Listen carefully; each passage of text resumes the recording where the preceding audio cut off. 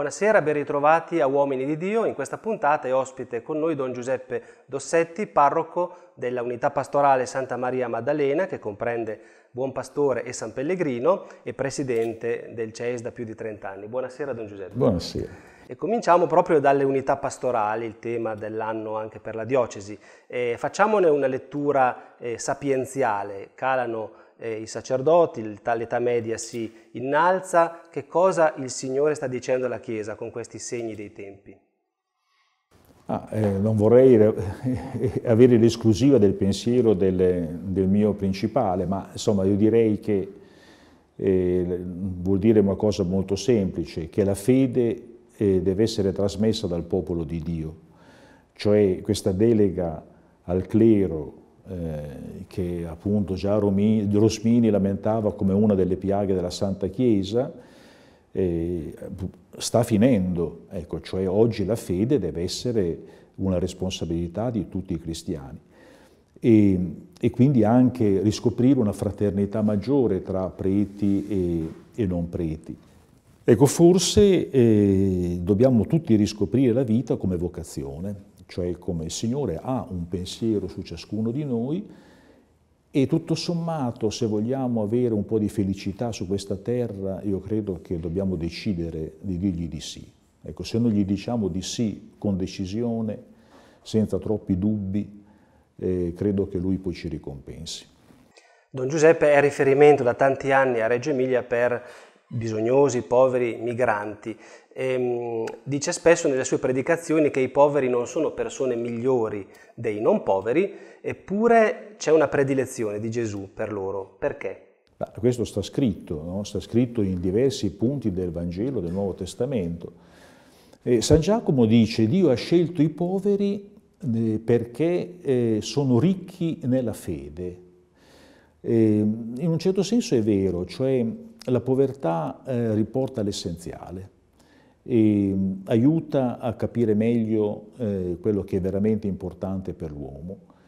il povero ha, più, eh, ha, meno da perdere e quindi eh, si butta di più, ecco, quindi non ha dubbi, non ha... però ehm, la ragione fondamentale è che il Signore è buono e quindi ha una predilezione per chi è nella povertà, nelle varie forme di povertà. Ecco. E, eh, sempre, io penso sempre di essere ospite dei poveri. E, e, io ho fatto il prete operaio nella stagione eroica del concilio eh, dal, 60, dal, 69 fino al eh, 82. Ecco, ho fatto 13 anni in fabbrica, quando la fabbrica era una realtà piuttosto, piuttosto dura. E io ho imparato moltissimo dai miei compagni di lavoro e soprattutto eh, ho imparato che eh, loro effettivamente avevano un, qualcosa di cui io, eh, che io non avevo. Ecco, e eh, sono stato ospite loro e questo mi ha dato moltissimo. Che poveri sono quelli che oggi incontra in parrocchia? Beh, c'è solo un imbarazzo della scelta, eh, perché naturalmente ci sono appunto i, i poveri, eh, appunto i, i, migranti, gli stranieri, eccetera, ma direi che ci sono tante altre situazioni, per esempio eh, i genitori di ragazzi tossicodipendenti che vengono a trovarmi anche in parrocchia, eh, ci sono i malati, eh, insomma Mm, direi che c'è solo... Ecco, cioè, quando si tiene aperta la porta entra il mondo. E, e questo è molto bello alla fine, ecco, anche un po' duro, certamente un po' duro, ma è molto bello. Adesso una domanda che nessuno le avrà mai fatto. Parlo al presidente del CEIS. Era il 1982 quando Monsignor Baroni le diede questo incarico e sono passati più di 30 anni, le dipendenze purtroppo non sono diminuite, sono senz'altro cambiate. Oggi quali sono i pericoli che vede eh, più concreti da cui guardarsi? Eh, noi siamo partiti con l'eroina, però adesso non ci facciamo mancare nulla. Ecco, proprio. Eh, direi che oggi accanto all'eroina ci sono tutte le droghe, diciamo, euforizzanti, la prima fra tutte è la cocaina E, e più in generale eh, io parlerei ormai non più, sembra un gioco di parole, ma non tanto di tossicodipendenza, ma di dipendenza. Le forme di dipendenza oggi sono tantissime, e pensiamo alla dipendenza dal gioco, la dipendenza dal, dal, dal, vid, dal video, ecco, da internet, le dipendenze sessuali, cioè eh, c'è tutta una, una gamma eh, di, vari, di, varia, di, varietà dove però c'è un elemento comune, ecco, c'è l'uomo che viene manipolato e non è più padrone di se stesso, non è più libero. E il rimedio è, un, è, è sempre quello, ecco, il rimedio è quello della, che ci ha insegnato Alcolisti Anonimi, eh, cioè quello del gruppo, ecco, cioè di eh, incontrarsi, di aiutarsi reciprocamente e magari con qualche specifica che dipende appunto dal tipo di dipendenza che tu hai, ma il concetto è sempre quello, c'è un risveglio spirituale e soprattutto il valore fondamentale dell'affidarsi a qualcuno che ha già fatto il percorso. Anche il Centro Italiano di Solidarietà ha negli anni sviluppato diversi progetti, per esempio lo sportello Ricerca Badanti. Ultimamente, anche sui giornali locali se ne è parlato, c'è questo progetto Adulti Accoglienti che riguarda i minori eh, africani o comunque stranieri, i minori stranieri. Non, non ecco, di che cosa si tratta? Beh, eh, questa sta diventando effettivamente una realtà molto importante, cioè di questi ragazzi, 15, 16, 17 anni, che arrivano senza la famiglia, senza gli adulti che li accompagnino, arrivano qui da noi e sono i più disorientati e quelli che magari eh, hanno dei progetti migratori del tutto fantasiosi e sono fra l'altro esposti alla, eh, alla malavita, ecco, più, eh, più, di altri. Quindi è importante, se, eh, cioè, lo Stato italiano ha previsto per loro un, un percorso particolare dove si investe di più. E ci deve essere qualcuno esperto, quindi un operatore, ma eh, per coprire la giornata e per tutta una serie di servizi che hanno come scopo poi l'integrazione, eh, sono, sono, ammessi anche dei cittadini eh, che si, maggiorenni, che si chiamano appunto adulti accoglienti e che faranno un piccolo corso tenuto dal comune di Reggio, eh, ma per le comunità cristiane secondo me questo è molto importante perché eh, io ho visto anche nell'esperienza eh, fino adesso in parrocchia che eh, la realtà bisogna incontrarla direttamente, cioè non è sufficiente leggere, non è sufficiente guardare dei servizi televisivi, bisogna sentire l'odore delle persone. E allora eh, tanti pregiudizi eh, scompaiono e nello stesso tempo si vedono quali sono eh, i veri problemi ecco, che certamente ci sono, ecco, ma anche le occasioni, perché queste persone sono, alla fine sono portatrici di un dono, anche loro.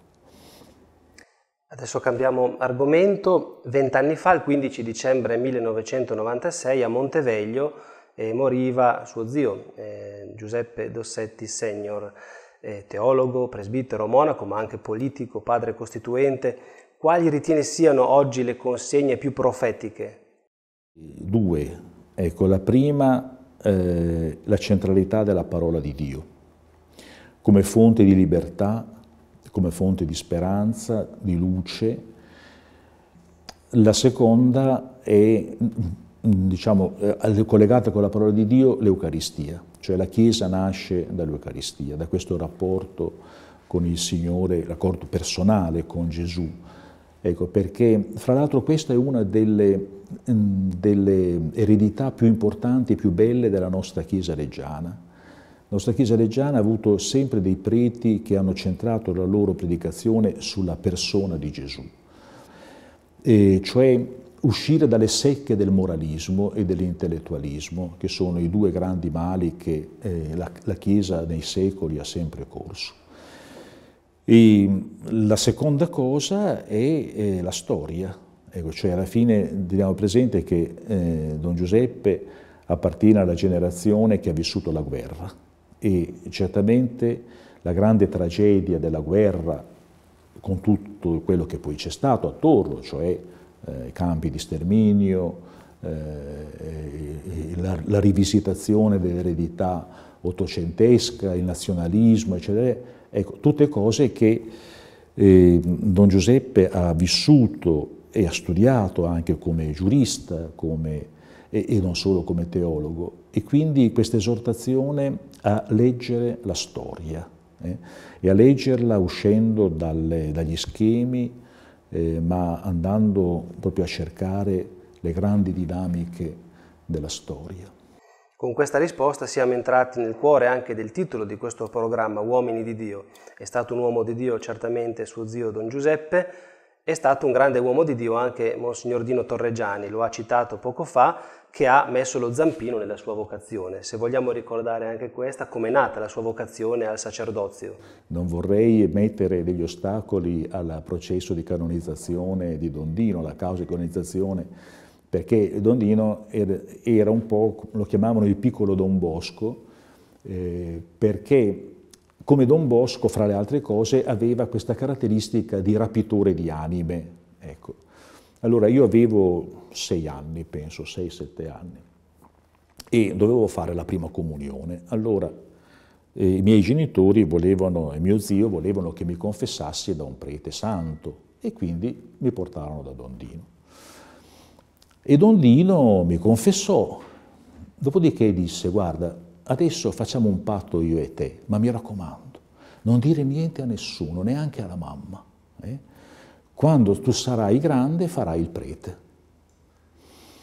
E io avevo sei anni, ho detto, ma, ma alla fine mi sembra un mestiere onorevole, perché no? Ecco, e nacque lì il pensiero che poi insomma si perse un po', poi quando avevo 14 anni incontrai Don Gianfranco Magnani a Santo Stefano e e, lì la mia vocazione risaltò fuori. E, e poi certamente ho avuto molto da Don Altana. E Don Altana è discepolo di Don Dino, eh, io fui con lui a, a, Roma, nella parrocchia della Magliana, e, e lì imparai moltissimo, soprattutto in ordine all'amore dei poveri. E da Don Angelo Cocconcelli, il parroco storico di San Pellegrino, cosa ha imparato? Beh, ehm, la libertà, Ecco, Don, Don, Don Angelo era veramente un uomo libero eh? e, e, e, e, con la schiena dritta. Veramente questo è un esempio molto molto molto bello. E poi ho imparato tutta la storia di Reggio perché lui era un grandissimo raccontatore e io ho conosciuto la mia diocesi molto dai racconti di Don Angelo. Abbiamo ancora un minuto, lo spenderei per la Terra Santa che lei conosce, frequenta e ama. Come oggi la situazione e quale speranza possiamo avere per il futuro? Dunque è una situazione bloccata eh, in cui tutti e due i popoli ormai sono invischiati in, un, eh, in una serie di, di legami ecco, che Ehm, insomma, fanno dire che la soluzione non c'è. Eh, però, ecco, la cosa, siamo in Medio Oriente e quindi anche se può sembrare paradossale, la mia formula è questa, eh, non c'è nessuna soluzione, ma la soluzione la possono trovare solamente loro, eh, perché la loro capacità di negoziare, di mediazione è veramente infinita eh, bisognerebbe che mh, mm, noi trasmettessimo loro, e il senso del pellegrinaggio è anche questo, non tanto un giudizio, eh, perché in questa materia giudicare, ecco, è chiaro che c'è un, un oppressore e un oppresso, ecco, però le ragioni sono un po' da tutte e due le parti. E noi dobbiamo trasmettere loro la fiducia, ecco, che la fiducia in loro, eh, che loro possono trovare la soluzione. E con questo messaggio di fiducia sulla Terra Santa, su Gerusalemme, ci lasciamo per questa settimana, ringraziamo Don Giuseppe e ci diamo appuntamento tra sette giorni. Arrivederci.